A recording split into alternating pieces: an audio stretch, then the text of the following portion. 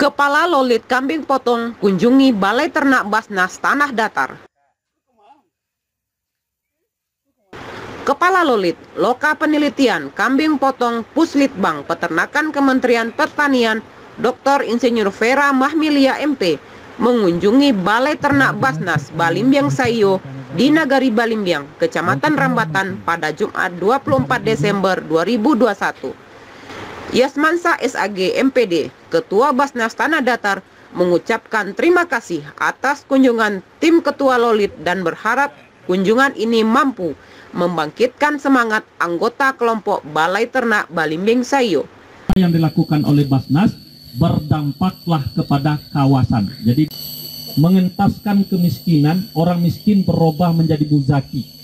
Jadi di sini ada 15 orang mustahik yang uh, kita letakkan di sini dengan sistem manajemen yang sudah kita mulai. Sementara itu, Dinas Pertanian Tanah Datar yang diwakili Kabit Peternakan dan Keswan, Dr. Hewan Faria Warfis, MEC Dev, mengapresiasi program Basnas Tanah Datar.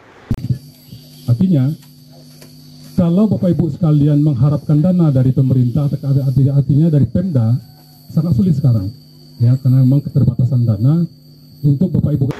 Dalam sambutannya, Ketua Lolit Kambing Potong, Dr. Insinyur Vera Mahmilia MP, menyampaikan alasan dipilihnya kelompok Balimbing Sayo sebagai sentra pengembangan kambing burka karena kondisi alam yang cocok dan melimpahnya pakan ternak. Jadi setelah melewati itu ternyata memang e, daerah inilah yang sangat potensi untuk kita kembangkan e, ternak kambing. Itu e, lokasinya, petani peternaknya, uh, dan mungkin dia keinginan untuk beternak kambing. Jadi artinya potensinya memang datangnya ke sini uh, itu di Balimbing. Dari Tanah Datar, Domi Agustina, Esa TV mengabarkan.